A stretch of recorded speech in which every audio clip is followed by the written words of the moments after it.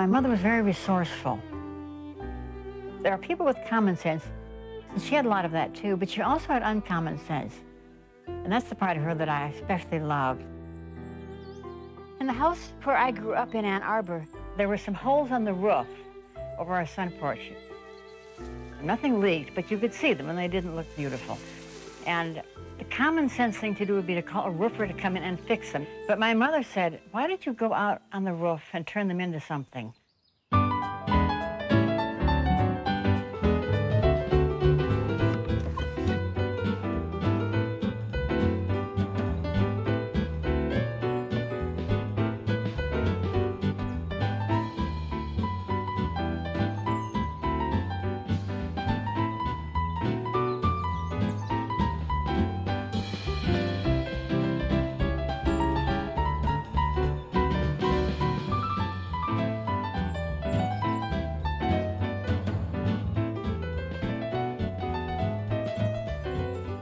Had a flowered roof, and each place where I had a flower was a place where there was a hole in the roof. And no one saw these holes because we had now changed all that.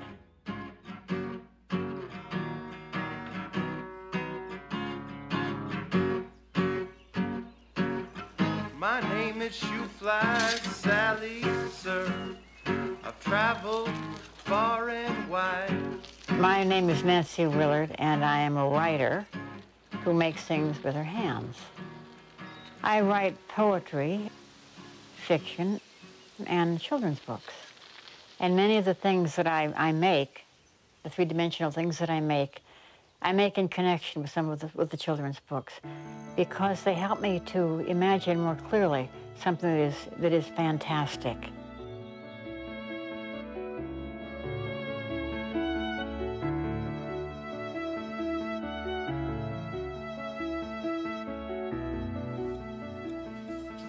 Moon and Riddles Diner It's half a smile away. The snow and reindeer gather, but the emerald antelopes play their saxophones by starlight. They clap for the hooting moon. When the Grokebys choose to drop their shoes in the lap of the silver spoon, you'll hear the teapot crooning in a voice like the morning fog, the ballad of the riddling ghost and the brave Chuggamunga frog. The specialty on starry nights is sweet tornado brew. It comes with wood chip chili chips and sneaky sneaker stew. Well, I was raised in Ann Arbor, Michigan. My father was a scientist. He was a chemist. And my mother had done some writing. In my memory, my mother's reading. She was a great reader.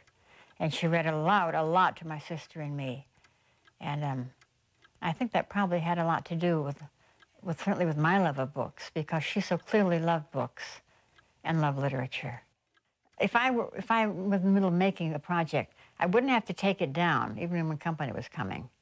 Um, I could keep it up, and she would just, that would be a separate area. I do remember once when some people were coming to the house unexpectedly, and uh, they called the people we hadn't seen for a while, and I said, Mom, we don't have time to sweep or clean up. What will we do? And my mother said, We'll turn the lights low.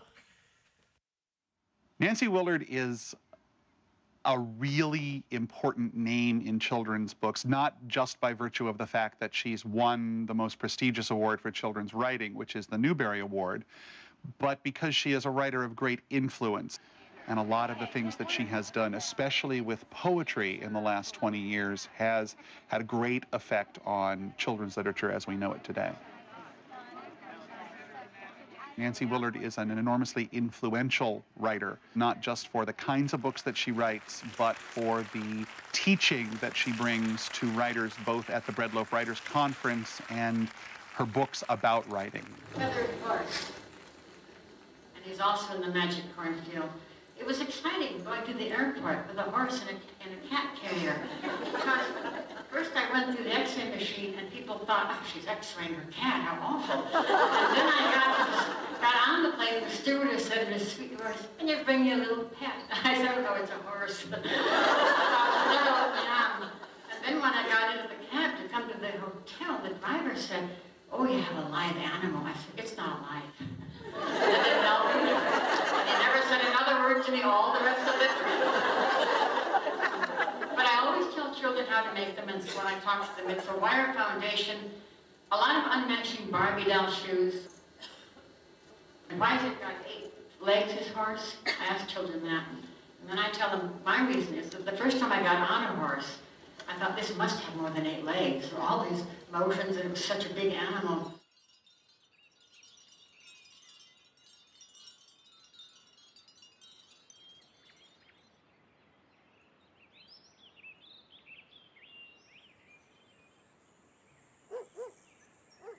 This is where I live, so please come in.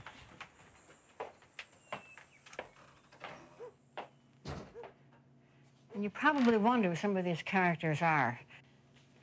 When I was doing Crack Corn and Snow Ice Cream and the Magic Cornfield, I had corn on my mind, so I made some of these creatures because I like the graphics on the cans. You know, once you make one, you make another, and you want to see what else you can do. They're related somehow. It's a family story. I think some of the most wonderful objects that you can work on come from the, the sea, come walking from the beach. These are seahorses. They look like acrobats, but it's a sort of celestial circus. And the figure here is a, it's a seahorse poet. And he's reading a book, and he's writing, and he's singing his poems, and he's being sort of watched over by various animals to make sure that everything goes well. And the umbrella, I always imagine is an umbrella with dreams. You put it over you and things fall into your head, neat ideas. So it's a magic umbrella. The, the tree itself was in the backyard for many, many years. It was hollow. As long as it was a little bit of it, it was alive, we kept it there. But the last year it died, the tree had to come down.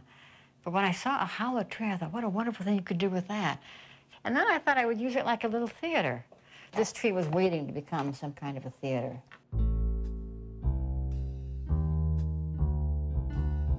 I've dined at the Woolly Bully and the Flying Fish Cafe. At the Ruby Owl, I started to howl when they thought I couldn't pay.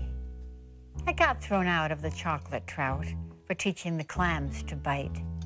But I love the fiddles at the Moon and Riddles, where they let me dance all night. We're going into the room where the creatures live. And here they are.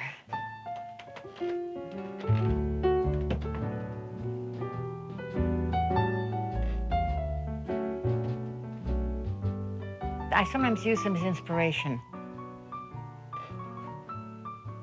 Because when you're writing fantasy or something that is fantastic, it sometimes helps to make it. You understand the character with your hands in a different way than you do with your head.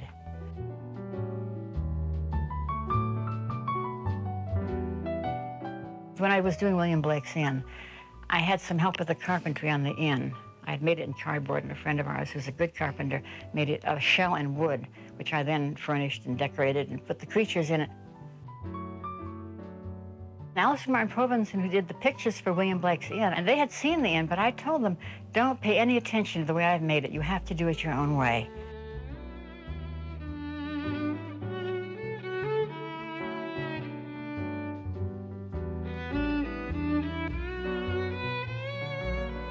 I have the green rabbit. He's the, the porter.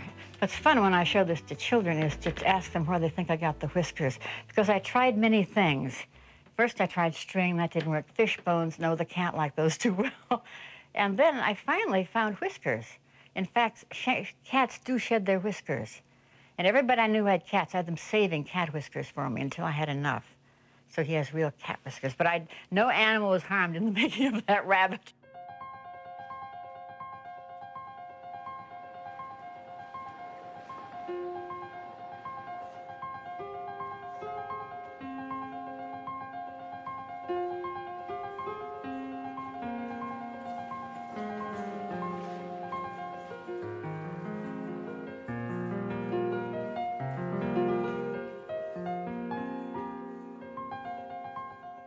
This is actually made of ceramic. It's a planter. And I think I once had a plant in it, but I thought, well, this is really more. Again, I, you know, she should have a life, another life. And what is she thinking, this cloud? I saw it as a cloud, probably because I've always wanted to meet a cloud that I could talk to that was thinking thoughts. Well, the next best thing is to go make one. Because, you know, when I was little, I'd look at the sky and I'd see the, I could, see, we could all do that, figures in the clouds. It looked like animals, they looked like people, they looked like carriages. So the next best thing to be able to talk to one of those directly is to make one. So this is the cloud lady, and I can see what's in her mind.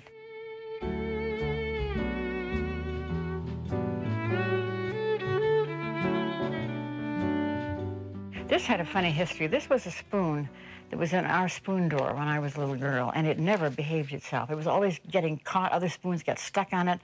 It was bent. And finally, it was given to me to do something with it, to make it behave or be what it should be. And I kept that thing for years, thinking, I'll find the right thing to do with it. And then when I was watching the Olympics, I saw the skaters and the arch of their backs. And I thought, oh, that's like that spoon. So I went and got the spoon, and then I knew what it wanted to be. It wanted to be a skater.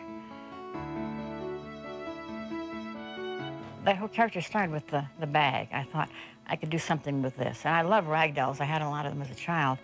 He and the other one, Totem and Bottom, they really became the main characters for the Magic Cornfield.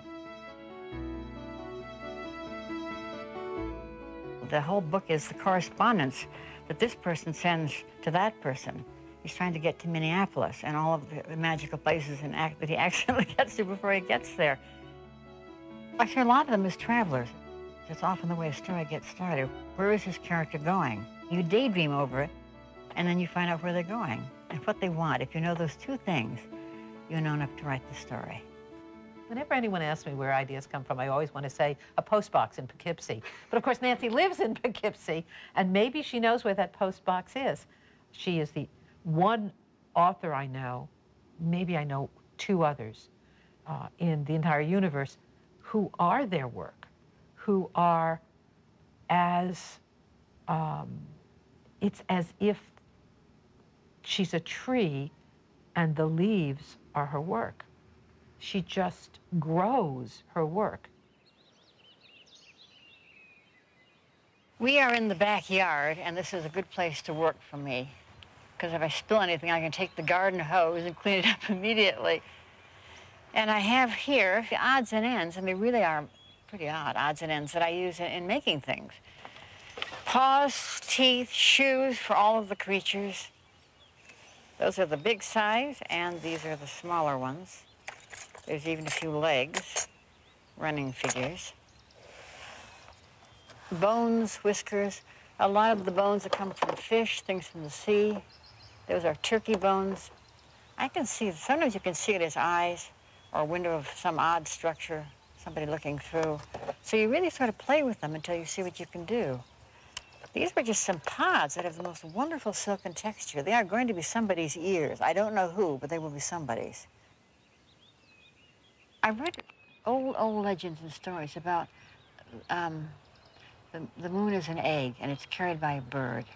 So maybe this bird will carry that, carry that story. I'll probably put it in here, which means I have to put a face on it. I may make it half dark and half light.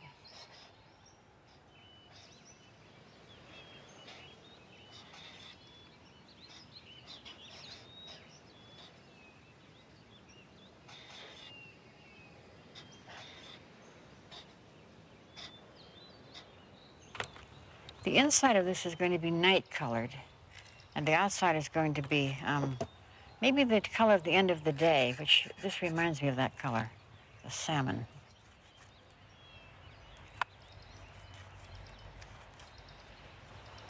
I think it would be boring if it was all just straight blue. I like to mix it. All right, it's the color I always like to try to get. It's very hard. It's the color at the end of the day.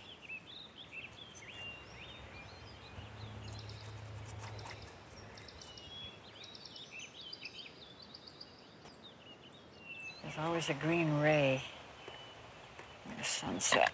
So I would imagine this as being a lot of the colors from the day. You've got sun, you've got grass, you've got all those kinds of light. So when you go into here, it's very different. It suddenly becomes very quiet.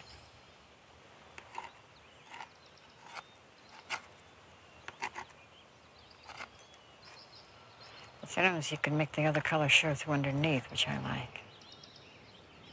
This is, I know, the lobster's tail. I think that's all part of the same bunch of bones and scales and pieces that I was putting together.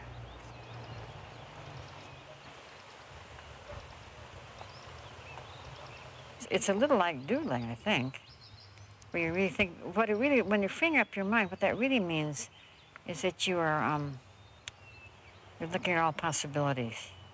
You haven't, and you, nothing, you don't say to yourself at any point, this doesn't make sense. This can't, this isn't going to work. You just watch what happens. You run it through your head. He's a bird carrying the moon. There is certainly some story there, though I think it's a story that probably many people have told in folk tales. No, but I would like to make him a magic bird.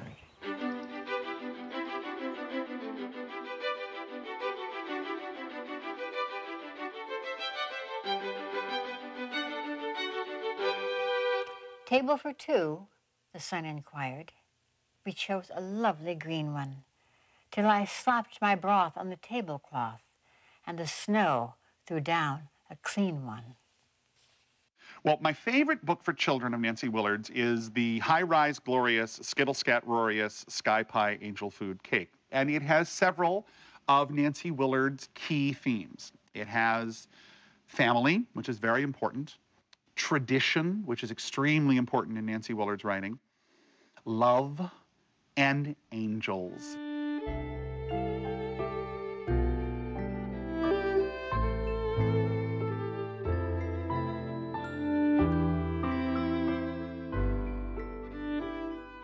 This, believe it or not, is an old toaster. It was my grandmother's toaster, and uh, I think it was a disaster as a toaster. It's much better as an odd object. I love anything with doors and things that are hidden away. It makes like a little theater again. So I decorated with rabbits running across the top, and of course the bread, to reference the fact that it was a toaster. It's, I like things that are winged. It could take flight at any time, and there is an angel on the front. And again, the baker's chocolate lady. She's in a lot of the things that I make because I always love that image.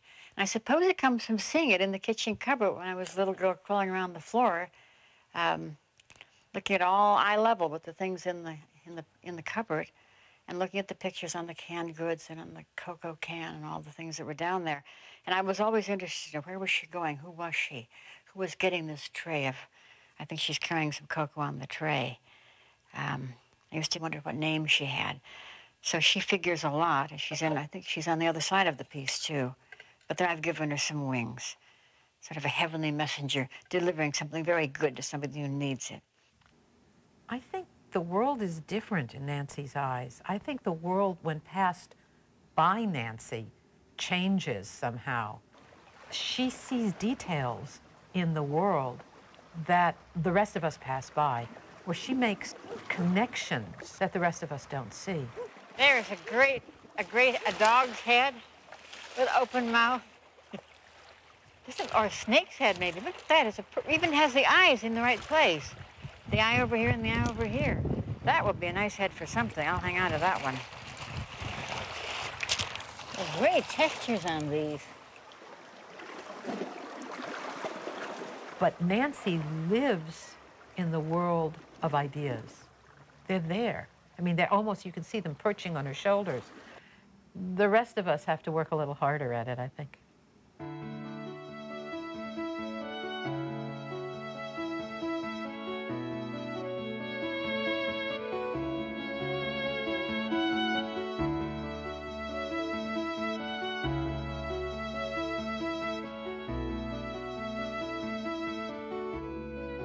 I've always loved the Statue of Liberty because it meant a lot um, to our family, at least to my grandmother's family. Her parents came through Ellis Island. So I heard a lot about that experience, about what it was like to be an immigrant, and I certainly knew that this meant something to them. The real Statue of Liberty, of course, is dressed in a toga. So I thought the Statue of Liberty has a lot of people to take care of. She should be properly dressed for this task. So I made her in working clothes one of the th- things when I, one of the things I loved about the Statue of Liberty was the, the inscription at the base, the little piece of the poem. I lift my lamp beside the golden door, and it was the golden door that fascinated me. And who could had the power to do that, to open that door?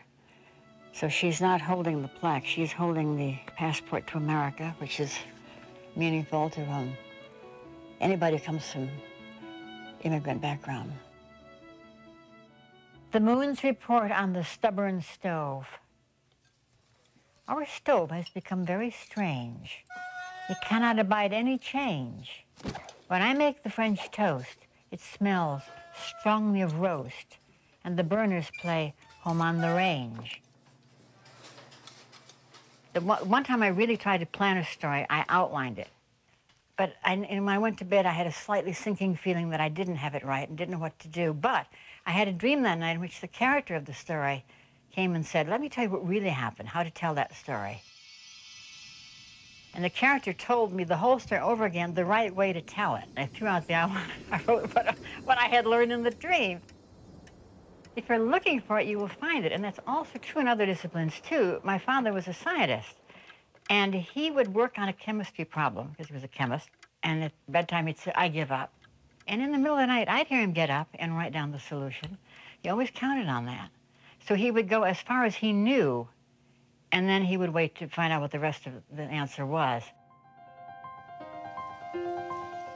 When I was three years old, I had a dream. In the dream, I fell asleep and woke up and looked out of the window and saw a ring of animals walking around the house. They were animals that you'd find up in the northern woods. There were moose and otter, and um, nothing as exotic as tigers. Nothing like that. Nothing, no elephants, no circus animals. They were walking in what I thought was a magic circle around the house. So in the dream, when I woke up, I climbed out of the window and climbed up on the back of the biggest animal. I think it was a moose or a deer and we went off into the woods. And then my mother came in and woke me up, so I never found out where we were going. And I wanted to write it down, but at three years old, of course, I couldn't write. I think when I was in second grade, I knew enough letters so that I could write, write that down. And so that was maybe one of the first things I've ever I wrote. And um, for me, there's always a strong connection between dreaming and writing.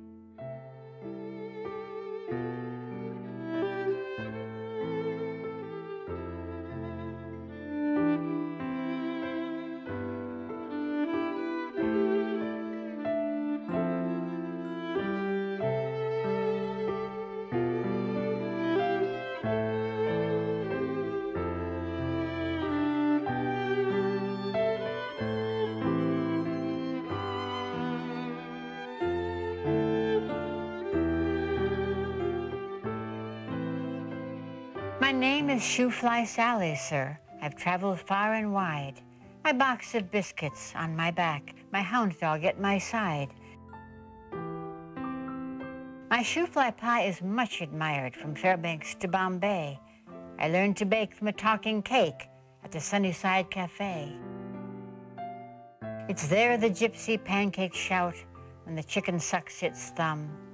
The kettle sneeze, the teaspoons tease, the soporific sun, till it falls asleep in a field of sheep, and the great bear starts to roar.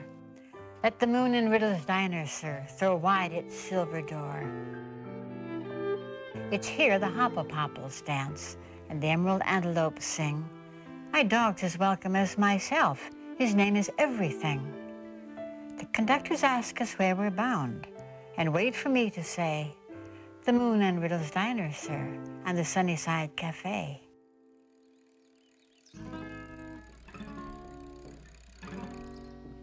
Sally, go round the sun.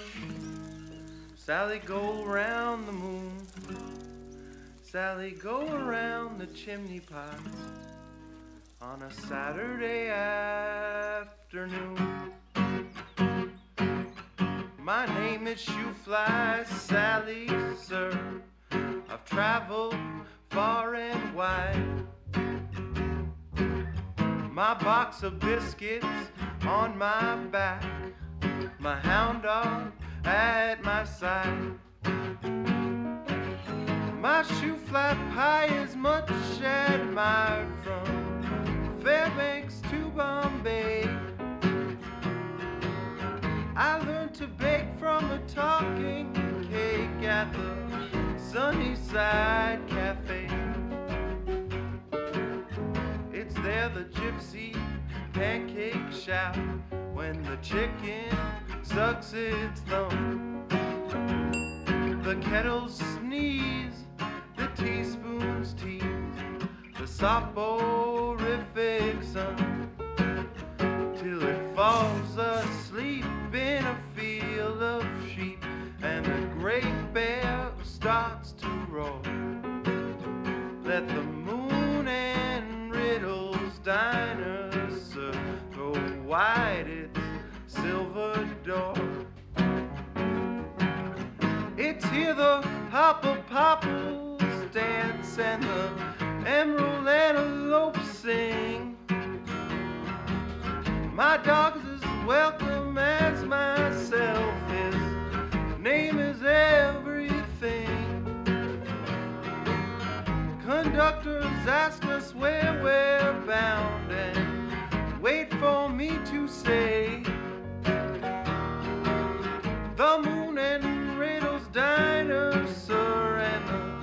Sunnyside Cafe.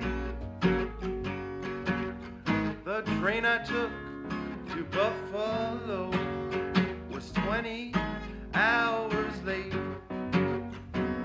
when the Buffalo King began to sing. His voice was a squeaky gate. He asked me when.